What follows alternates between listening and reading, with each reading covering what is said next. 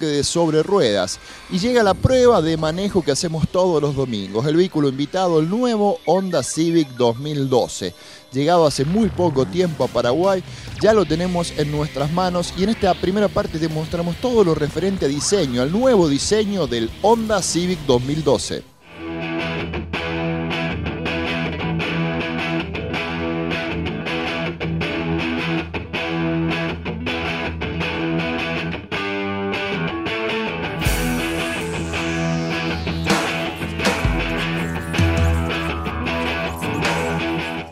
Bienvenidos a una nueva prueba de manejo. Hoy el vehículo que vamos a presentar en este domingo de sobre ruedas es el nuevo Honda Civic, un vehículo que ya pasó por nuestro programa, pero que ahora llega con una versión con un retail realmente increíble. Han cambiado muchísimas cosas de este vehículo sedán de la marca japonesa Honda. Así que comencemos a vivir esta nueva prueba de manejo. El auto invitado para este domingo, el nuevo Honda Civic 2012.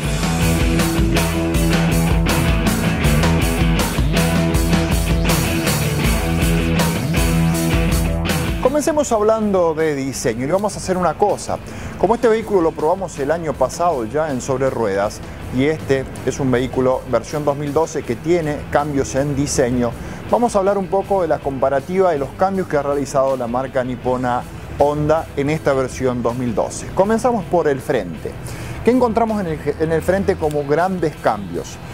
Punto número uno, las ópticas, tanto adelante como atrás, son ópticas arraigadas, pero con cortes realmente pronunciados. El capó más o menos tiene el mismo tamaño y le agregan estas moldaduras pronunciadas también cerca de las ópticas. Clásico ya de Honda, un parabrisas amplio para tener muy buena visibilidad, eso no lo ha perdido. En el centro, logo cromado de Honda con una bagueta arriba, también siguiendo el mismo material. Más abajo, toma de aire con este plástico en color negro muy pero muy vistoso. Después llegamos al paragolpe. En el paragolpe otro gran cambio. ¿Por qué? Porque hace como una B bien pronunciada, lo mismo que con las ópticas. Cortes en cuanto a diseño pronunciados, muy bruscos.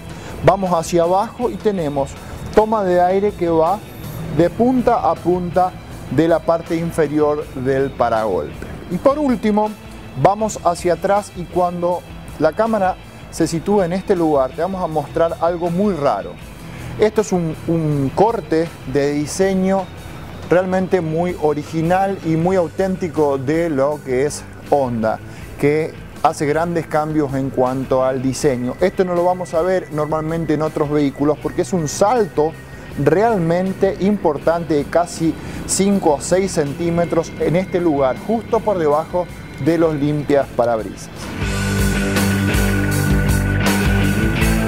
En el perfil del nuevo Honda Civic no encontramos grandes cambios en cuanto a diseño, sigue la misma performance con eh, espejo del mismo color de carrocería, tenemos señalero dentro del mismo espejo, manijas de apertura del mismo color de carrocería, gran amplitud en todo lo que es eh, vidrios en el costado o ventanas.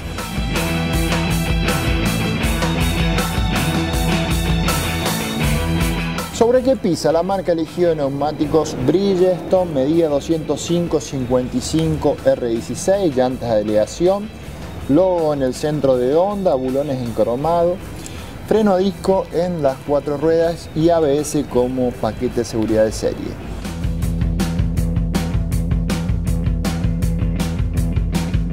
Para terminar, en cuanto a diseño, llegamos a la parte trasera y lo que te decía. Las ópticas, fíjate, el corte que le dan lo mismo que adelante. Esto es algo característico y los cortes también que le da en la parte trasera. Realmente cortes muy bruscos, muy agresivos. La luneta, un buen tamaño, tercera luz de stop, la antena del equipo de sonido. En la anterior versión todo lo que es denominación estaba abajo, en esta ahora está arriba, logo de Honda en el medio, Civic del otro lado y hace una división de las ópticas con el maletero. Vamos a hablar del propulsor de este nuevo Honda Civic. Motor transversal como lo vemos, ya un clásico de esta versión. En este caso estamos probando una versión 1.8, en eso no cambia de su antecesor, motor flex, que imprime una potencia de 140 caballos a 6.000 revoluciones eh, por minuto. Realmente en lo que es motorización no hay cambios, seguimos con las mismas versiones, un motor económico, un motor que trata de emitir lo menos posible y si a eso le agregamos el tema de que es flex.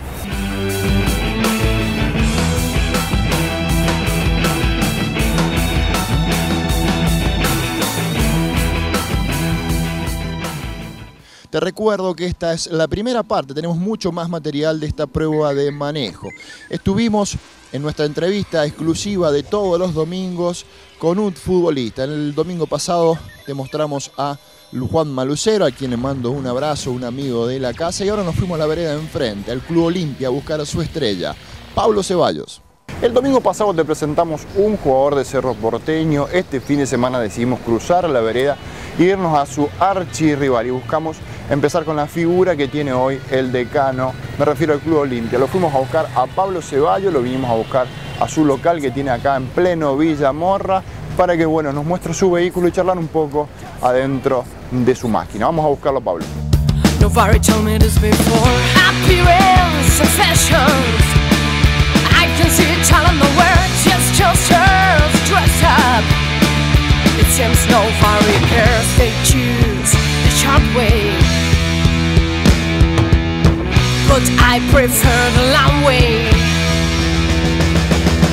Muchísimas gracias primero por haber accedido a la entrevista aquí en Sobre Ruedas. Pablo, contame un poco cómo comenzó eh, la idea de ser jugador de fútbol profesional, o sea, cuando empezaste, o sea, de chiquito sin lugar a duda que te gustaba el fútbol, pero ¿cuándo empezaste a, masticar o a, o a creer de que podías vivir del fútbol?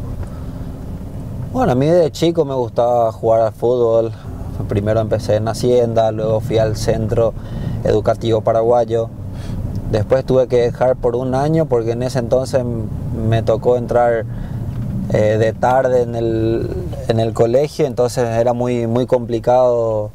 Pero ya cuando tuve 16 años fui a las inferiores del Club Sol de América. ¿A qué edad empezaste a ser profesional? ¿A qué edad firmaste el primer contrato? Yo firmo un contrato profesional a los 18 años, ya con América, estando en inferiores. ¿Y ahí ya te daba el dinero para comprarte tu propio auto o no? Y para comprarme así un auto no, pero sí ya me daba como para tener un, salario seguro. ¿Y te acordás del primer auto que, que tuviste? un Nissan Mistral. Al menos para mí nunca me gustó tener así un auto, diríamos, pues más porque las calles nuestras no daban. Siempre, eh, fui fanático de las camionetas. Me, gusta para mirar y, ver así, admiro mucho, pero como para mí no, no, me veía en un, en un auto así.